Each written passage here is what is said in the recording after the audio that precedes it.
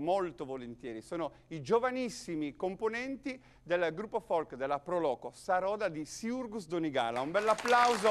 per questa formazione che arriva dall'Alta Marmilla, un centro che varca i 2000 abitanti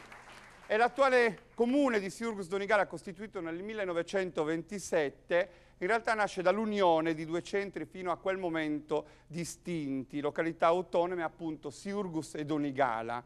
Suggestivo il lago Mulargia, ma suggestivo è anche su Nuragi, questo eh, nuraghe all'interno del centro abitato. Siurgus davvero è un luogo che ti sa ospitare quando ci sono le feste, ma anche nelle mille occasioni in cui ti capita di incontrare i suoi abitanti. Io sono molto contento che questa sera siano i giovanissimi di questa associazione a rappresentare una comunità importante come Siurgus Donigala, anche perché in loro c'è la forza del futuro delle tradizioni, la speranza insomma, che il nostro esistere attraverso il passato possa essere garantito da questi giovani che adesso sorridono, perché io voglio un bel sorriso da parte di tutti voi, sorriso e applauso che noi estendiamo anche a beneficio di Gianluca Boi, un forte